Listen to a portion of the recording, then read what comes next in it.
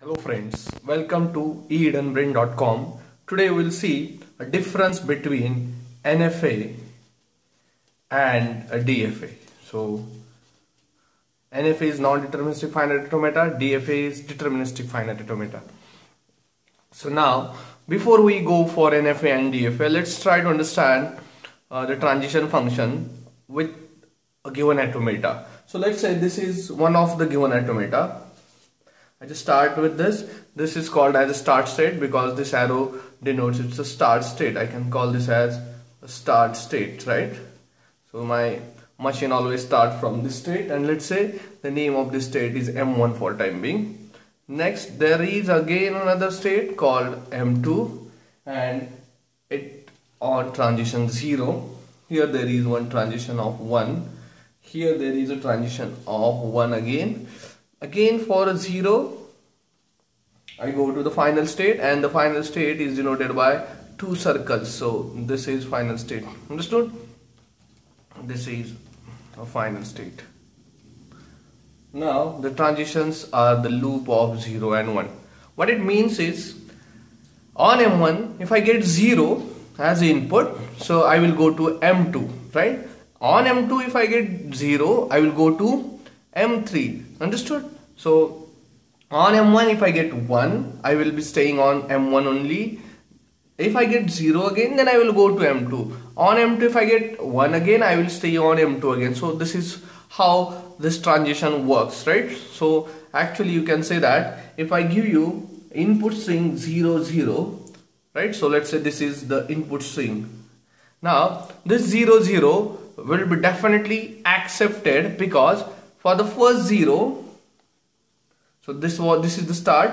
On the start if I get 0 where I go? I go to M2 so this this 0 leads me to M2 and then on M2 if I again get 0 where I go to? I go to the final state. So understood? For 0 0 it works. Now let's say for another input called 1 0 1 0 let's say whether for this it works or not. So for start if I take 1 I will stay on M1 for 0 I goes to M2 for M2 I am staying on M2 again. And for this 0 I am going to the final state. So yes this is also accepted. Now let's take input 1 0 1 1 1 so let's take an input called 1 0 1 1 1 3 times. So let's say what happens with this. Whether this string is accepted or rejected we will be able to see by this automata on M1 if I get 1 I will be staying on M1 on M1 if I get 0 I am going to M2 now on M2 if I get 1 I am staying on M2 again. Again on M2 again I get 1 again I am staying on M2 again I am staying on M2 it means I am not leading to the final state. You can see that. I stopped here at M2 I am not reaching to the final state. So if string is to be accepted it must reach to the final state. So hence this string is not accepted I can say. So now let's see how this machine let's say I call this as machine M.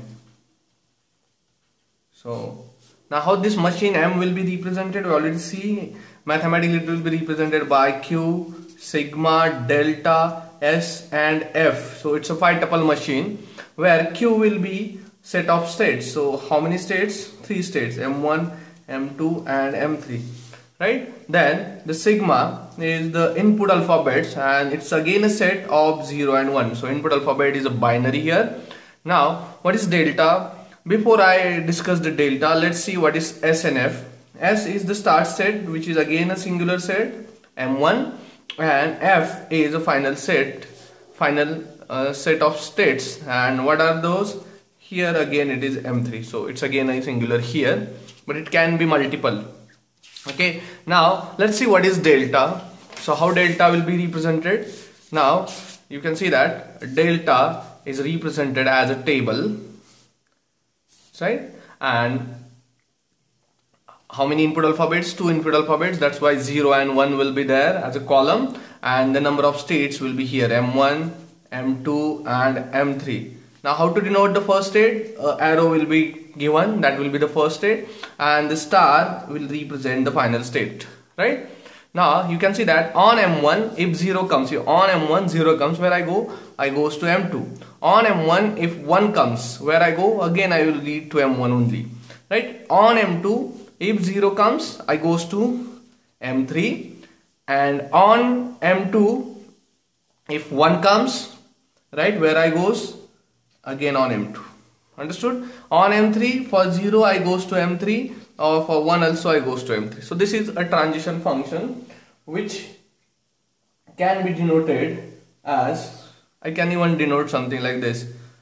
Transition of M1 on 0 where it leads to transition is a function where M1 is input along with 0 and that will give you the output where it leads to and it leads to M2 again transition is a function where for M1 if 1 comes I goes to M1 next transition function on M2 for 0 gives you M3 and then transition function m2 on 1 leads to m2 understood? How to read this function? So this is f of x is equals to y. Here f is a function x is the input so I can call this as a function this is input and this will be output of the function right? Similarly you can see this in this delta m2 and 0 are two inputs so these are let's say two inputs.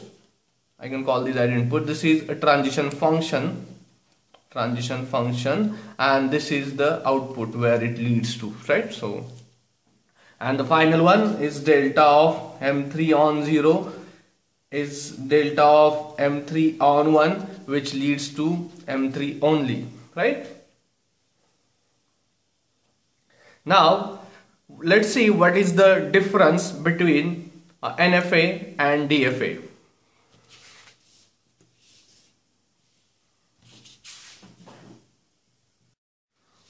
So let's see what is NFA and what is DFA. So for DFA, I will make one definition. You can look here. A DFA, I can say in case of DFA for from each and every state. So from each and every state for every input alphabet or symbol you can say. For every input symbol there should be there should be exactly one transition. Exactly one transition. Right? And in case of NFA in case of NFA there should be there should be more than one or zero transitions. More than one or zero transitions. Okay? Now let's try to see this by an example. I will draw two uh, states. One will be I will draw two machines. Uh, one will be NFA one will be DFA so let's try to draw a DFA first. I will draw a small DFA here in front of you. So let's say this will be DFA. This will be state 1 and this will be the final state. I can call it that S2, right? And let's say this is 0 on transition of 0 it goes to S1 again and on 1 it goes there. Here on 0 1 it leaves there. And I will parallelly draw uh, NFA2 for you. So this is let's say DFA now I will draw a NFA for you. Now let's look at the NFA same I will draw S1 and S2 these are the two states. And on 0 it goes here. Comma 0 1 it leads here. And here I will say it is for 1 so now let's try to see the difference between the NFA and DFA so this will be definitely DFA and this will be definitely NFA why look at the state S1 on S1 if I get 0 I'm going to S1 only. So it is very deterministic where to go on 0 but on S1 in NFA you can see that for 0 I have two choices. So it is not deterministic in nature and that's why it is called as NFA2 it's not determining where exactly it leads to. It can lead to you to an S1 or S2 because of these two zeros are there on different transition lines. Here you can see that it is very deterministic. On 0 it will goes to S1 and on 1 it goes to S2. Similarly here in NFA on S2 we are not sure where to go on 0 on 1 I will definitely go to S2 but on 0 where I go I don't know and that's why it is non-deterministic in nature if I draw a transition table of these two states uh, sorry these two automatas you will you will be able to see something like this. This is 0 1 S1 is the initial state. S2 is the final state. It leads you to S1 S2 S2 S2 and for NFA you can see that on 0 1 again s1 s2 s1 is the initial state. This is the final state. Now on s1 on 0 i can go to s1 or s2 and on s1 with 1 i goes to s2 now on s2 for 0 i don't know where to go so i will say it is dash. And then on s2 for 1 again I leads to S1 so you can see that there is a difference between a transition table. It says there should be exactly one transition in case of DFA and yes it is there. It is 1 it is 1 it is 1 and it is 1 but in case of NFA it can be more than 1 or 0 transition. You can see that these are more than 1 these are 2 transitions these are 0 transition these are 1 transition so I can better say NFA is a superset of DFA. So how I can say that? This will be definitely NFA. Then this will be DFA. Why? Because DFA is a subset of NFA and DFA is a special case of NFA where all the transitions leads you to a deterministic states means only one state. In case of NFA it can lead you to a different states right? Okay thank you very much